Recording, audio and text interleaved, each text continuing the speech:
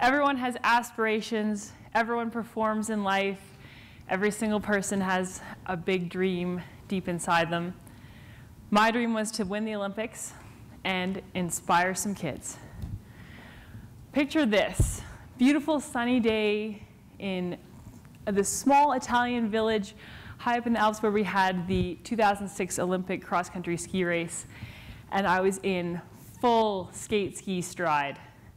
I saw this red line in the snow, and I realized I was going to cross it first. If I looked right, the German would pass me on the left. If I looked left, a Russian would pass me on the right. So I just kept a lock on that finish line of my focus. But wait, how did I end up here? I am just a kid from a small mountain town in the Canadian Rockies. And this is my big dream. But I'm only dreaming big because the Olympians have told me to do that. There are Olympic people, you see, and there are normal people. And we dream big because the Olympians tell us to. But really, I did three things to end up in this spot that I'd like to share with you today. Dream big, learn with every step, and believe. Because if you rewind to the start line of that race, this was the battleground for belief in my mind, turning up the volume on belief. If you rewind even further, a few months before the Olympics, I was in a ski race and I was pushed down by another racer. That was where I had to take a learning step. I had to learn with every step along the way, and that was a very key one that would later enable me to win the Olympics. And rewinding even further to when I was a teenager, to when I was a kid when I was first introduced to the concept of dream big. I was very fortunate. My parents didn't put any boundaries on me. They thought I could do anything, so I did.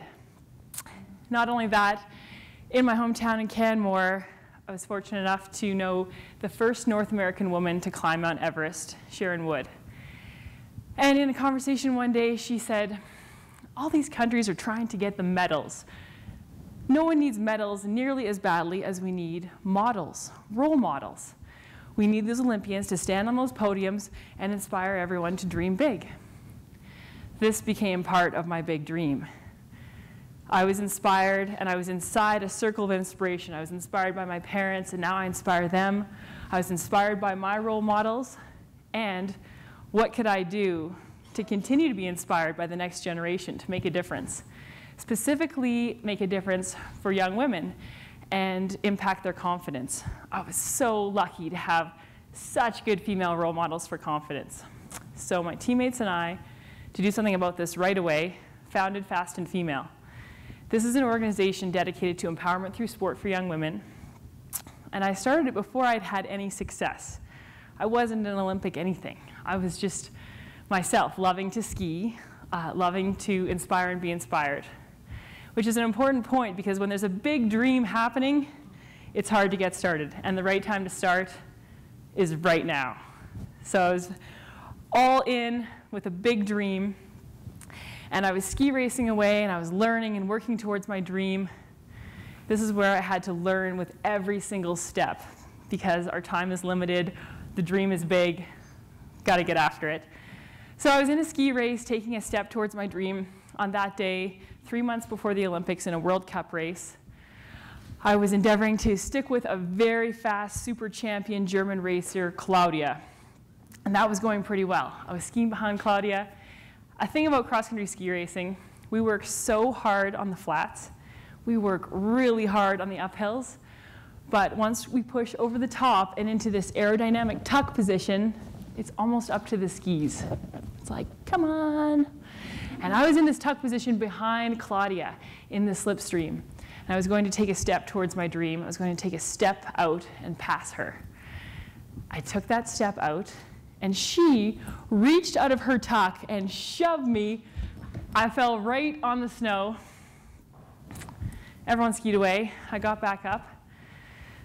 That step would later decide my fate. But in this moment, all I had was a choice a choice to learn or a choice to have a new excuse in my quiver of excuses. And so I crossed the finish line. I could have protested, maybe tried to get her disqualified, injustice, poor me. But I was responsible, I was response able to learn something. Very simple. Next time, uh, what could I possibly do? What could I have learned here? I could pass wider and faster. So I took that home, didn't know what an impact it would have on my life until the Olympic final.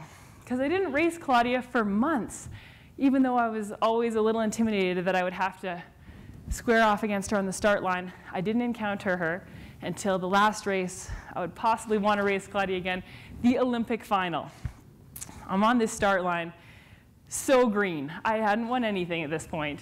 And this is the third step that I want to share, which is belief. And we all know it's so important to believe in yourself.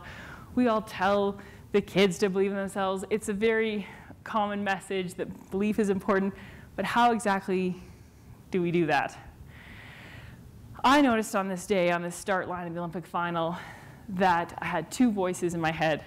A negative voice, very loud, very strong. You're not ready. You're not good enough. You can't do it. I don't know who you think you're fooling.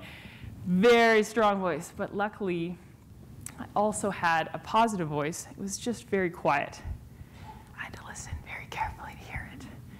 Because it was like, you can do it. so quiet. What? you can do it. It was almost like in the cartoons when there's a devil on one shoulder and a little angel on the other telling you what to do.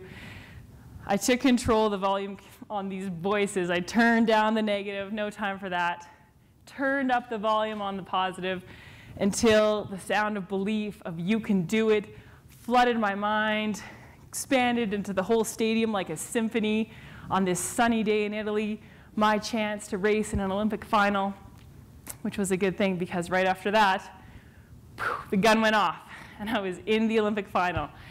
I skied really fast out of the start. I had a lead, which was great because no one can push you when you're in the front. But over the climb, around the climb, Claudia took the lead. Once again, we were going to downhill.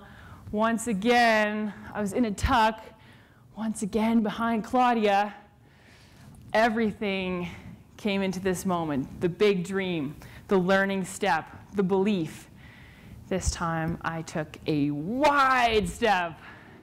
I passed her awkwardly wide. If you were there, you would have wondered where I was going.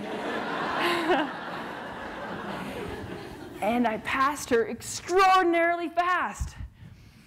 Cruising into the stadium, the last downhill, the sound in my head was like a kettle boiling. I was that focused. I got into the finishing stretch. I didn't look right, I didn't look left. I had a lock on that finish line of my focus. I saw the red line in the snow and I realized I was going to cross it first. First, I thought, are you kidding me? and secondly, I thought, I better put my hands up.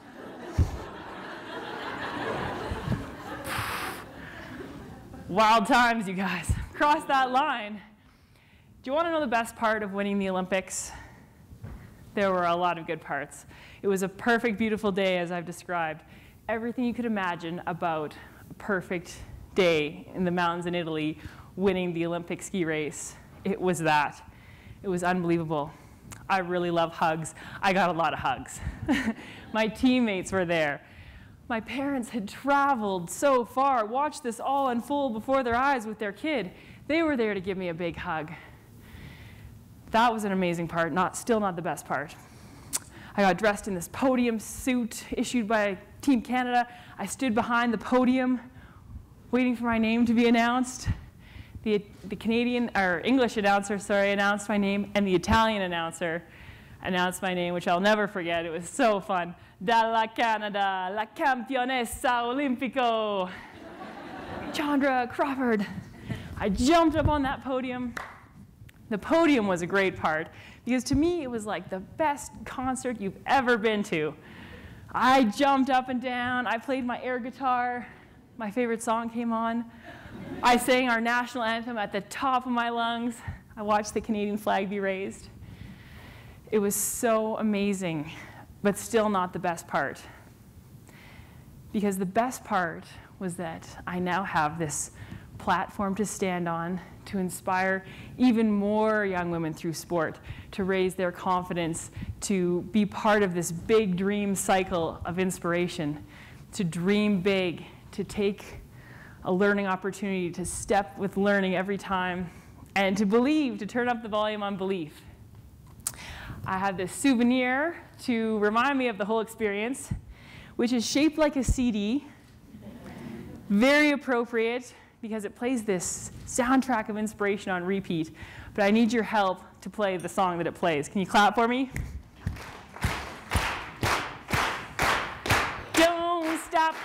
Stop believing. Thank you. Thank you.